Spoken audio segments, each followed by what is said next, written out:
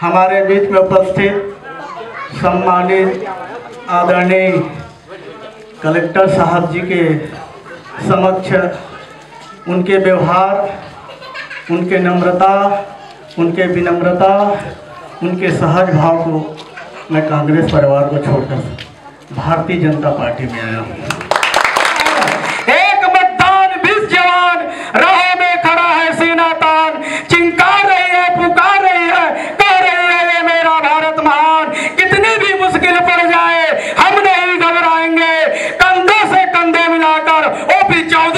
चौधरी से जिताएँगे।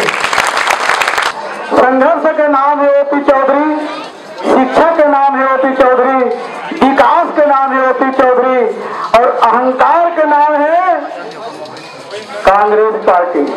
अहंकार के नाम है कांग्रेस पार्टी। घमंड के नाम है कांग्रेस पार्टी। तानाशाही के नाम है कांग्रेस पार्टी। तो आप लोग अगर साथ चलना है, फिर आप मत तय करना।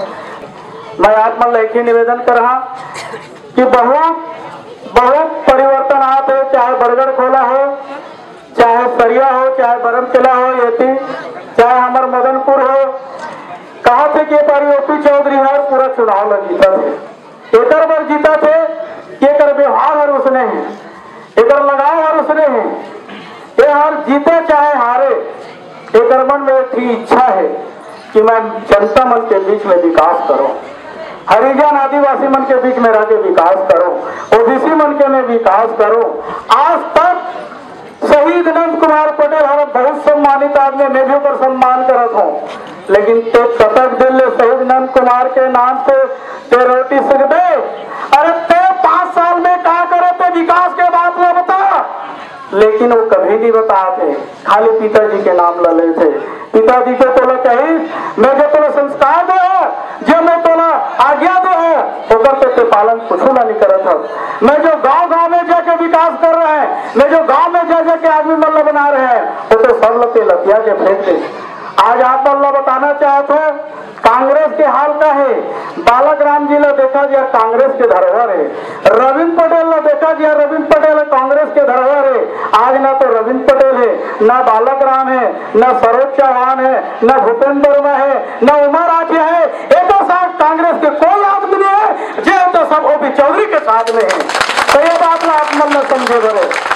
ये व्यक्ति पाँच साल में, पाँच साल में ऐसे कोई विकास बताया मैं खुद मदनपुर में रखा मैं खुद कांग्रेस का कार्यकर्ता हूँ। मैं अपने आप में बहुत बड़े कार्यकर्ता मानता हूँ। लेकिन मैं खुद पंद्रह साल में सीसी रोड पर मैं मांग मांग के, मांग मांग के, मांग मांग के थक गए लेकिन बोला सीसी रोड नहीं बोली। सीसी रोड तो बोला, दे सकते लेकिन देना नहीं चाहिए। अगर आदमी मन देना नहीं चाहिए, सरो कीचड़ में रहे, गली में रहे, लेकिन इला सीसी रोड नहीं बनना चाहिए। लेकिन मोर दन खम्बे खनिज गौड़ में अभी पास हुई ओला में सरपंच के माध्यम से कमा काम करवाए।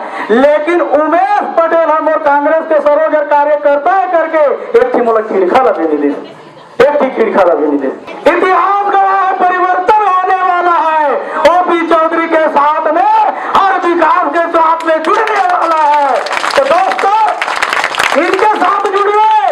इनके साथ जुड़ने से विकास होगा प्रगति होगा उन्नति होगा।